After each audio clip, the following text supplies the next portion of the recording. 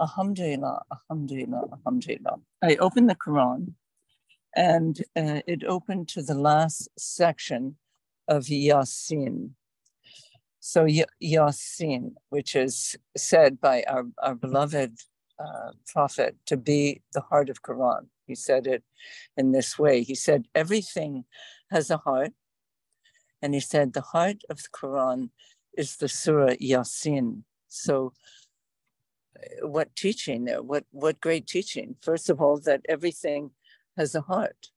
Um, that's great news for us to, to know that um, everything has a heart, meaning it has an essence, it has a, a connection to, to God and, um, and, and is returned to God, continuously returned to God. So um, the Quran itself is continuously streaming from Allah and, and returning to Allah. And um, on this day of Jummah, it streams out in this way, and it Allah wants you to receive these verses, inshallah. So I, I will read them in English. Um, the last section.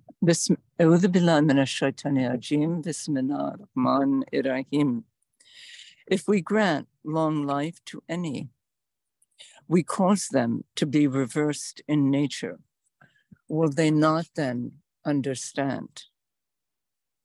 We have not instructed in poetry, nor is it proper for him. This is referring to Rasulullah. This is no less than a message. In other words, a message from God and the Quran making things clear. They, that it may give admonition to any alive, and that the charge may be proved against those who reject. See they not that it is we who have created for them, among the things which our hands have fashioned, cattle, which are under their dominion, and that we have subjected them to them. Of them, some carry them, and some they eat. And they have profits from them, and they get to drink. Will they not then be grateful? Yet they take gods other than Allah to help them.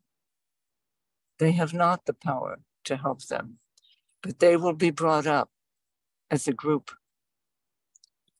Do not let their speech then grieve you. Truly, we know what they hide as well as what they disclose.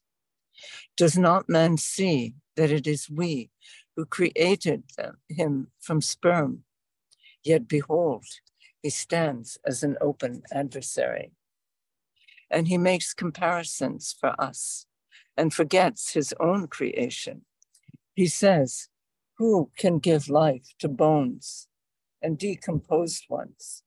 Say, He will give them life, who created them for the first time, for he is well versed in every kind of creation the same who, for, who produces for you fire out of the green tree, when behold, you kindle with it. Is not he who created the heavens and the earth able to create the like thereof? Yea, indeed, for he is the creator, supreme in skill and knowledge. Truly, when he intends a thing, his command is be, and it is. So glory be to him in whose hands is the dominion of all things, and to him will you be all brought back.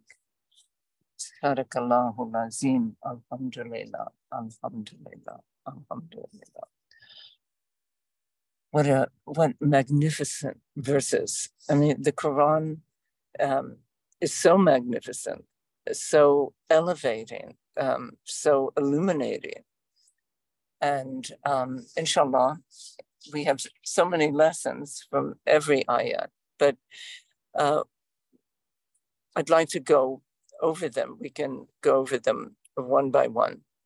So, if we grant long life to any, we cause them to be reversed in nature. In other words, they, they, humanity, each human being, we reach a peak of, of development, physical, and then spiritual coming uh, later. And um, you can say in the fullness of humanity. And really, we could say that the spiritual peak in the in the friends of God is reached um, really at the end of their life.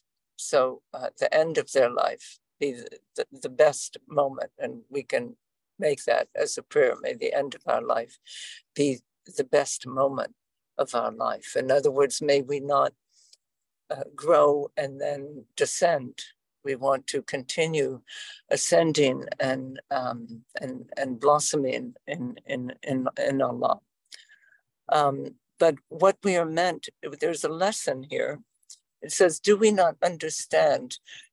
Uh, do we not understand that that everything returns to God, so that what we think of as old age is really a sign that that we belong to Allah and we return to Allah. In fact, we, we say that uh, if someone passes from this life, and it's one of the the prayers, or affirmations that that we say.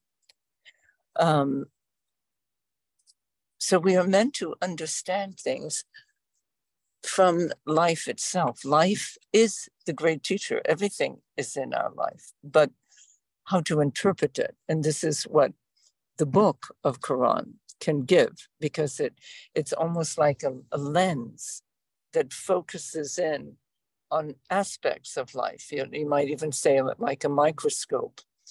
Um, and and so meaning comes forth from life. Meaning comes forth from events.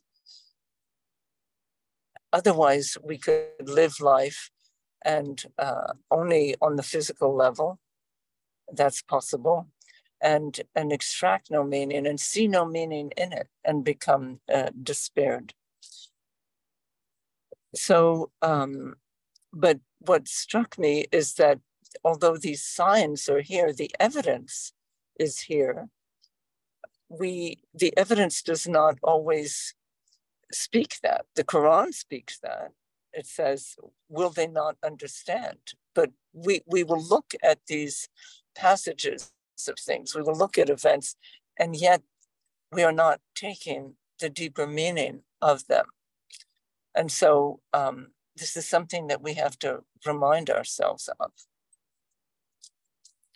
And when it says here, we have not instructed the prophet, although it's understood to be him, it doesn't mention him directly, nor is it suitable for him.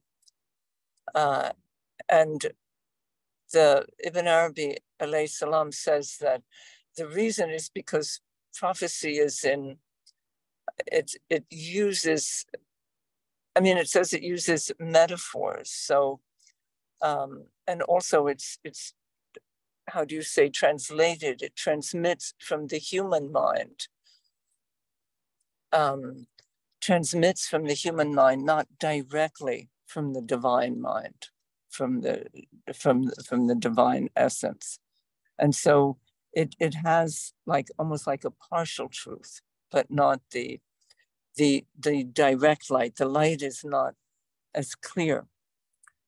And it says this is no less than a message and a Quran making things absolutely clear. So here the lesson is also to say that um, divine revelation is of a different nature, and we have to treat it as such. And that means the revelations um, from every tradition, every sacred revelation is um, divine and, and has the divine message for us and the divine benefit. And that it goes on to say that it may give admonition to any alive, and that the charge may be proved true against those who reject. So um, it is both um, a healing balm, it is both uh, the milk and the nourishing milk of knowledge, and it is also has the the warning in it and and um, the medicine, which is medicine. We have to think of admonition and warning as medicine uh, for our own souls too. It's not just for whom we think are the most deviant. We every time we read Quran, there's medicine in it uh, for us. And then the the the instruction points to what is created. See they not that it is we who have created for them among the things which our hands have fashioned, cattle which are under their dominion. See that it is not we who have created for them. So, again, everything in creation is created by Allah. We, we cannot create anything. And uh, this is a very important message also for, for our time when, um, when we have been given so much um, agency, and and uh, we see it operating in science, and and the ability to, you know, create these artificial intelligence, and uh, the ability to uh, explore the you know the both the the hidden what was previously hidden in creation uh, and to report on that to un, to begin understanding how things function. But if we do not know that it is still Allah who is creating everything, then we can get lost, seriously lost, and destroy ourselves. Uh, there's a beautiful um, passage of Quran that Sheikh Nur translates um, that it is Allah who creates you and creates the things that your hands create. So the, what we normally attribute to ourselves, such as art or technology or any anything that that we make, um, we attribute to ourselves. We should attribute it all to Allah and, and give thanks to Allah for everything that is here on earth, including ourselves. And then Allah goes on to say, and that we have subjected them to them, to their use, to their needs. And they say some carry them and some they eat. So uh, just detailing two functions that we receive out of um, the the creatures who are under our. Let me go to the park so we can take Amma out. Mm-hmm. Okay. Um, and they have profits from them and they get milk to drink, will they not then be grateful? So here is the key word is, is gratitude. And so both knowledge, uh, wisdom, and gratitude uh, that we can live and be the most intelligent, be the most functioning.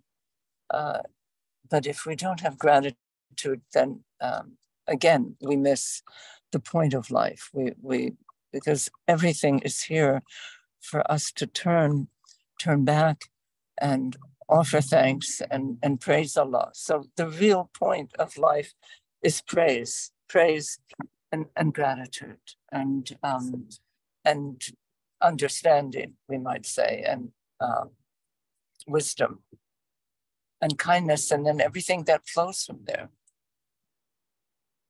So then it, it goes to say, yet they take gods other than Allah. So even though we don't, we, you know, we say, oh, well, there's no polytheism today, or we, you know, we know that God exists. And, but these are speaking also on subtle levels. So on, on subtle level, if we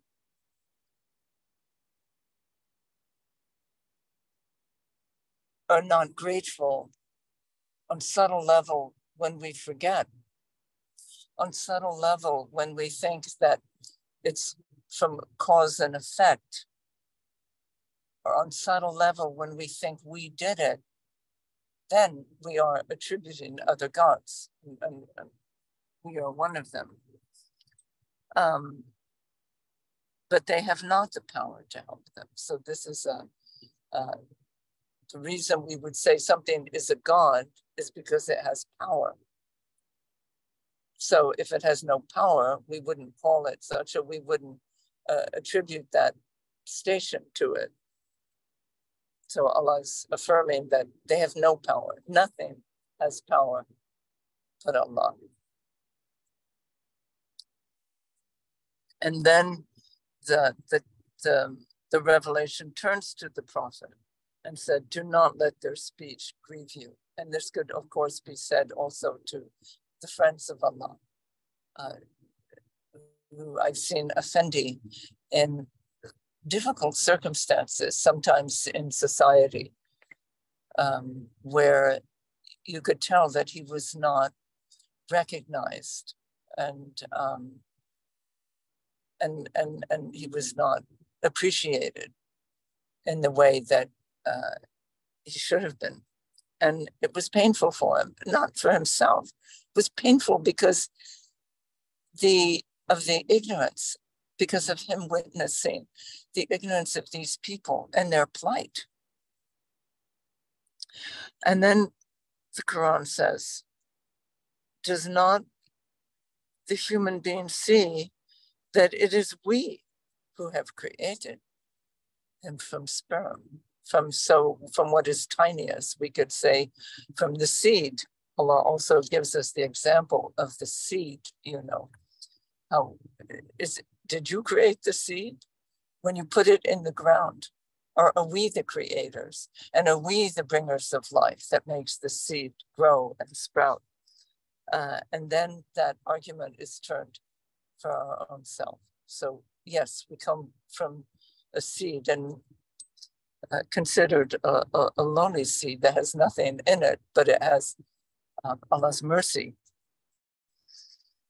Um, and then it says, the worst is that even though we are created and guided and, and fed and provided for and protected and um, sent all good by the beloved, and yet then we become even an enemy, an adversary. Could that be? I mean, could one imagine anything worse? Um, and he makes comparisons for us and forgets his own creation.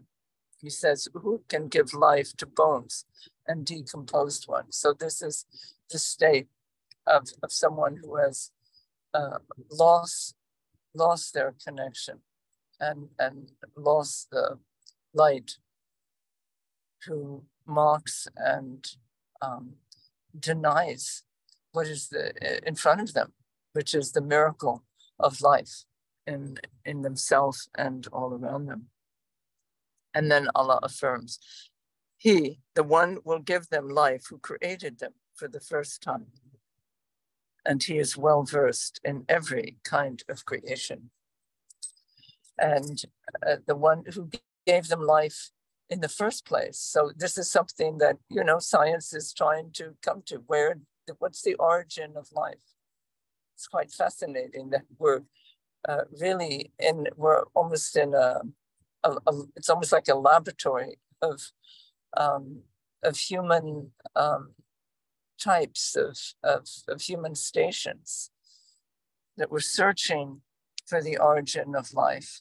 And then they, you know, did it begin in the ocean? Did it begin in, oh no, it began in other planets or the aliens brought it or, um, yeah, but then who created them? So uh, th- there's never a way to, um, to counter Allah's own proof or to deny Allah. Allah is really undeniable. And then Allah says the same, who produces for you fire out of the green tree, when behold, you kindle with it. So here, this is the tenderness of Allah, this is the mercy of Allah. So even to those who deny, there is still that effort to say, no, but look, look, mercy comes to you. You're cold, you have you, you want to cook your food, you gather wood, you make a fire, and it bursts into flame. How does that happen? I do it. This is what Allah said. I bring you all mercy. I bring you relief. I bring you sustenance. Is not he who created the heavens and the earth able to create the like thereof? So this is the, the renewer of life, the one who um, who can create life and then create it again, and then have it pass through death, the door of death, and then bring it forth again. Yea, indeed, for he is the creator supreme, Bala, Wahual, Halako, Alim, in knowledge, the one who has all knowledge. Verily, when he intends a thing, his command is be, and it is. What glory is that? Who can claim that? So no one can claim that, not even deniers. When he intends a thing, his command is be, and it is. Well, maybe this was Pharaoh. This is the, the ultimate arrogance as portrayed by Pharaoh or by Nimrod, who think that their command is equal to the command of God. So glory to him, in whose hand is the dominion of all things. And that's when Abraham asked Nimrod, well, uh, he said, you know, who it, Abraham was arguing with Nimrod in order to bring light into his consciousness. And he said, um, who who gives life or death? Allah gives life or death. And then Nimrod countered, no, I give life and death. I can uh, tell someone to, you know, I have power, in other words, over my my subjects' lives. And then Abraham said, but can you bring the sun up from the, the west? Who brings the sun up from the east and sets it in the west? Can you do that? And Nimrod obviously realized, no, he can't. So here Allah says, Glory to him in whose hands is the dominion of all things, from the tiniest um, fly, the tiniest gnat, the tiniest atom and molecule who makes all of that um, alive and uh, existent, and who will bring it all back? Who brings it all back? Subhanallah,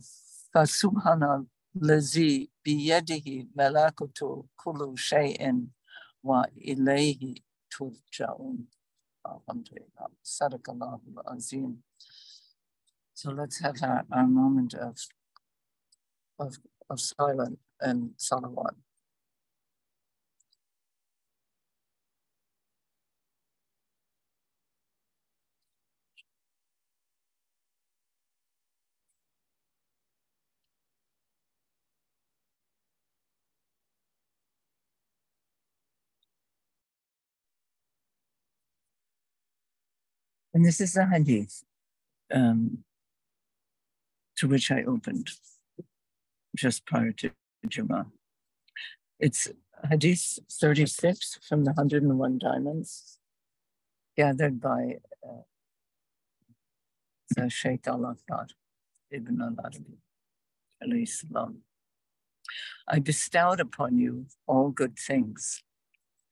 Muhammad the messenger May Allah immerse him in peace once revealed.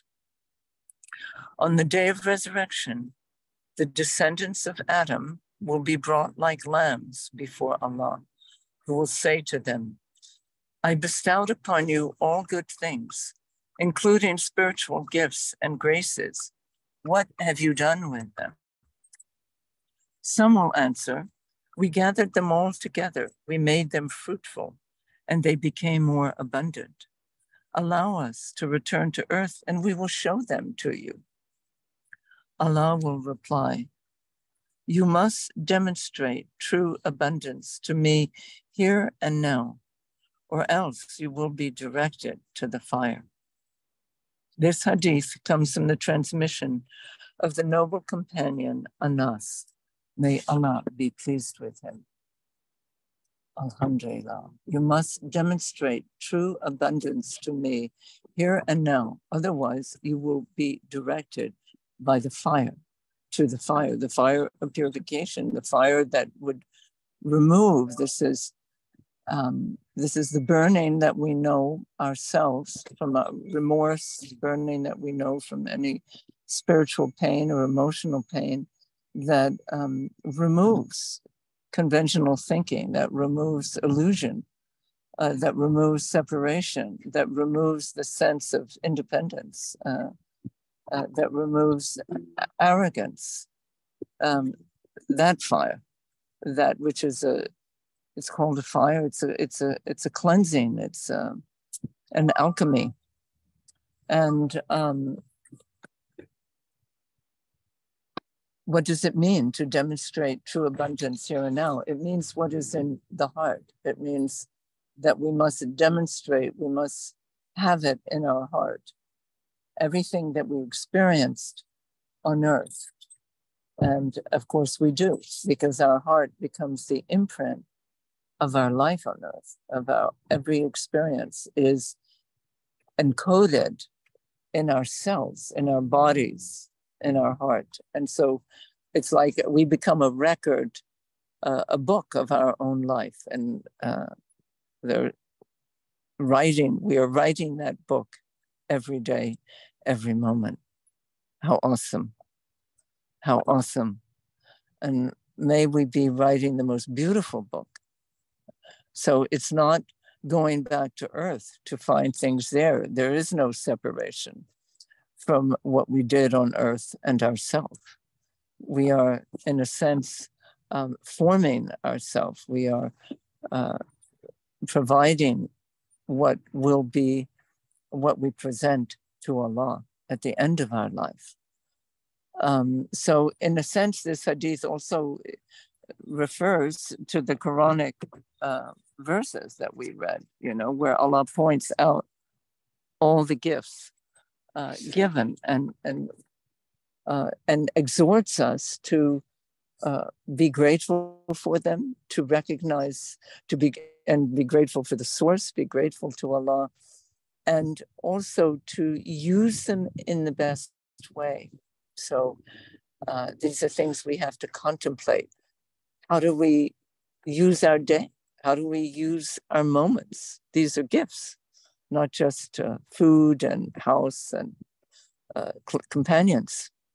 Time is a gift. Time is one of the great gifts. We have time. We have a limited time. We are soon departing. What do we do between now, this moment, this Jummah, this Friday of Shaban before Ramadan, and the time when we will depart without doubt. So, how can we employ ourselves in the most beautiful way? Um, we have many, many teachings on that. We are in a tariqat. We have already been gathered up by divine, the divine bounty, the divine mercy. We've been called and guided to this path of excellence, this path of wisdom, and this path of realization and this path of fruitfulness. So um, we we are called to contemplate. So each one of us, in in in their own way, called to see how we can make the best use of our life and our time here on earth.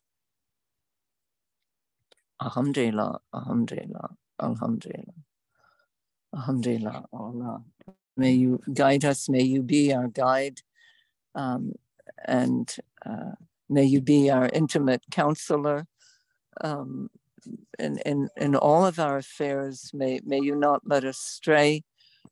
May you uh, keep us always in the direct path, which means the, the direct connection to you and, and, and guide us to be the most beautiful creation and, and to take that, to receive and use and multiply what, what you give us. The beloved Jesus, salam, uh, told the story of the, the master who, who left and, and gave three servants uh, some, you know, let's call it a piece of gold or something. And uh, one servant put it under a rock and said, Well, this is the best way to take care of it.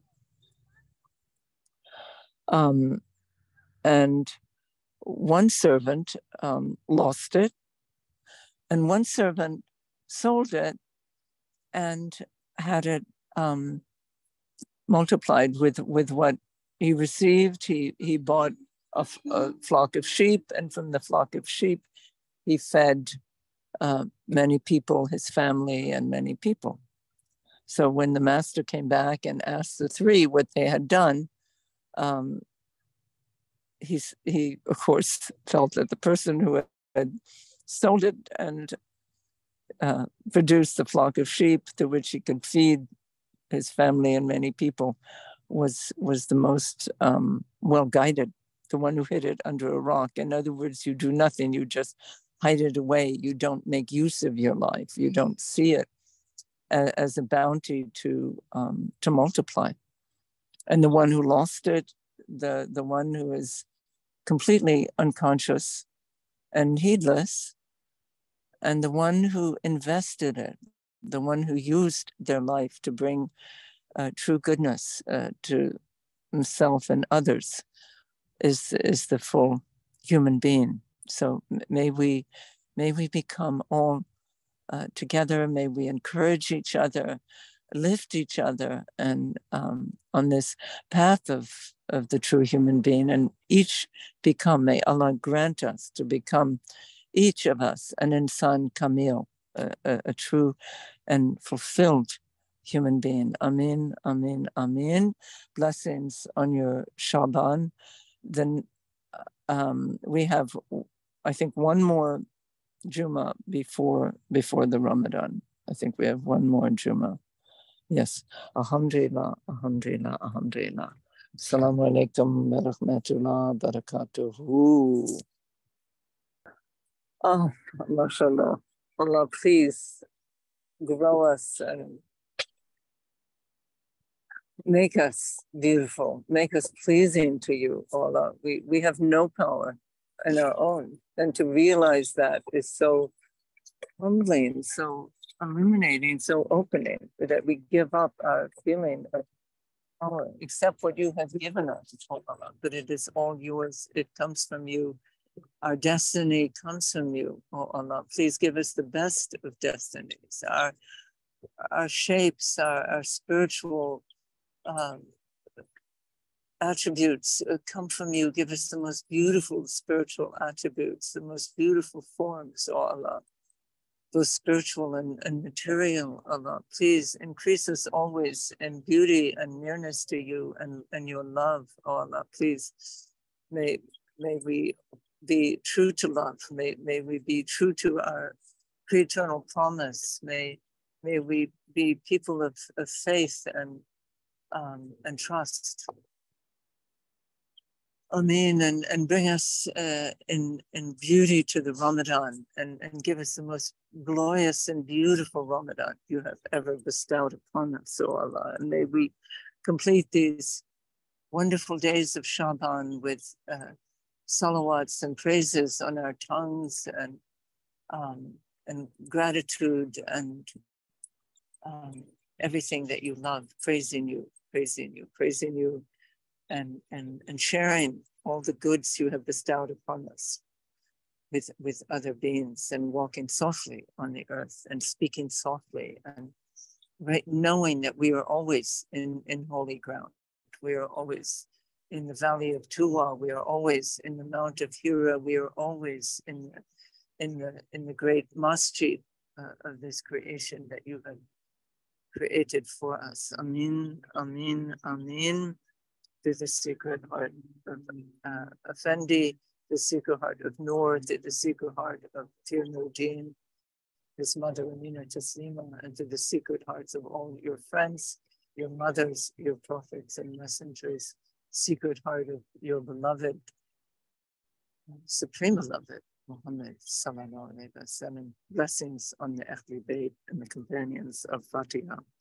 Allahumma sayyana sayyidina Muhammad وعلى سيدنا محمد صلى وسلم بسم الله الرحمن الرحيم الحمد لله رب العالمين الرحمن الرحيم مالك يوم الدين إياك نعبد وإياك نستعين اهدنا الصراط المستقيم صراط الذين أنعمت عليهم غير المغضوب عليهم ولا الضالين آمين آمين آمين who